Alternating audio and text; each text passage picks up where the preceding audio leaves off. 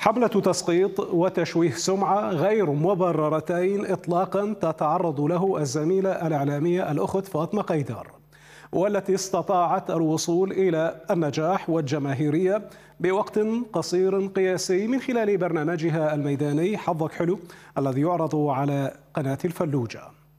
الشائعات الاتهامات والطعن في السمعة والشرف أطلقها مجهولون روجت لها بعض البيجات والصفحات المشبوهة والتي تسعى وراء المشاهدات واللايكات والانتشار على حساب فاطمة وغير فاطمة. وإن كان ذلك على حساب الآخرين أيضا. والإضرار الذي سيلحق بهم وتشويه سمعتهم. في المقابل رفضت الجماهير حملة التسقيط تلك والمقصودة ضد فاطمة دافعوا عنها من خلال مقاطع فيديو في حين التزمت الزميلة فاطمة الصمت ولم ترد بشكل رسمي على تلك الشائعات وعلى كل ما دار حولها من تلفيق وكلام غير صحيح.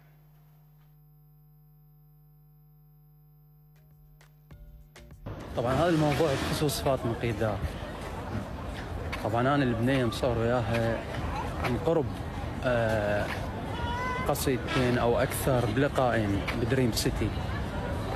والله تعاملت وياها عن قرب بنيه جدا محترمة وعفوية وخلوقة. يعني للأسف الشديد المفروض الإنسان إيه، يراقب نفسه أو ضميره يراقبه على الأقل. لو ما اعرف من البارحة لليوم آه، مواقع آه، التواصل خاصة التيك توك كلها تبحث يعني العناوين كذا كذا بالبحث. ما يصير يعني احترموا مشاعر الناس احترموا آه، مشاعر عائلتها ترى الموضوع ما له داعي يعني على مود كم مشاهده انت تعنون كذا كذا فاطمة قيدار. والله العظيم كلش مو حلوة بحق الناس. واحد لازم يكون عنده ضمير ويكون حريص على تصرفاته. لأن هاي الأمور بالتالي تروح وترجع. يعني على مود كم like تتهمون أعراض الناس. اشياء هي مو يمهم قلت لكم أكرر البنيه أنا أمان ما بيني وبين رب العالمين. والله قسما بالله جدا محترمة ومؤدبة وعفوية. هاي البنيه طالما زرعت الابتسامة على وجوهكم هجمة شرسة ومنظمة على اليمن على الإعلامية المؤدبة الخلوقة المستورة بين قوسين فاطمة قيدار. منو دا يقود هاي الحملة؟ وليش؟ هاي الحملة حسب ما افتهمنا وصلتنا من بعض المعلومات وطراطيش الكلام تنقاد من قبل بعض الفاشينيستات والحفافات على هاي البنية. ليش؟ السبب شنو؟ السبب إنه هي ضغطتهن ضوجتهن غثتهن. ليش؟ لأنه اشتهرت وهي محتشمة. اشتهرت وهي مؤدبة. اشتهرت بدون ألفاظ خارجة. فذن تخبلن متى تتحمل تشوف وحدة شريفة قدامها الناس تحبها واشتهرت وأخذت صدى. إعلامي كبير.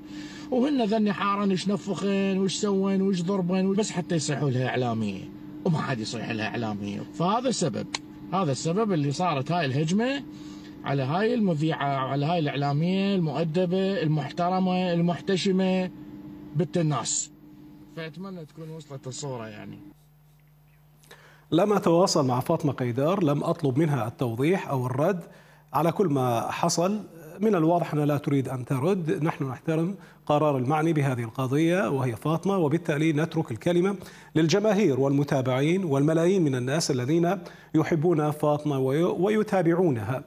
آه، فانتقينا لكم بعضا من التعليقات والآراء التي كتبت على منصات التواصل الاجتماعي والذين عبروا من خلالها عن حبهم لفاطمة وتضامنهم معها.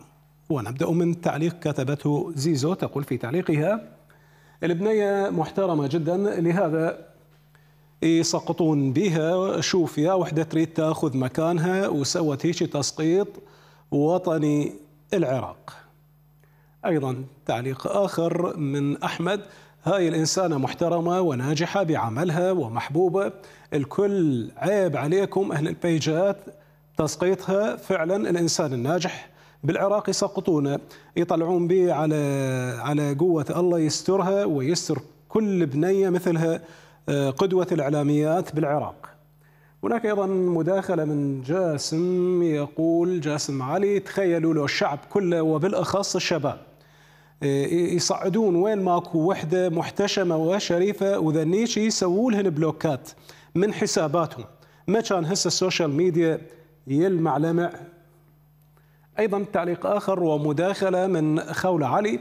بنيه مستورة وكانها ورده ليش هيجي الذبن سمكن عليها؟ الظاهر هيك أمي تقول وكلامها صحيح العايبة من تعاديك تحط سوالفها بيك تعليق من الإعلامي ضياء الديراوي يقول فاطمة بعفويتها وسترها وتعاملها اللطيف جعلها تكسب محبة الناس وأصبحت إعلامية محبوبة. وهي طالبة إعلام وتعمل حاليا بقناة الفلوجة. حجابها والستر لم يؤثر على عملها فلا تشارك في تشويه سمعتها. شيماء هاي يسموها حرب عليها بعد. بعد صعودها وانتشارها السريع. بدون عمليات تجميل وبدون علاقات مشبوهة بنية مسوره وعلى قناة محترمة اختصرت طريق الفاشينيستات بدون تنازلات وحققت النجاح.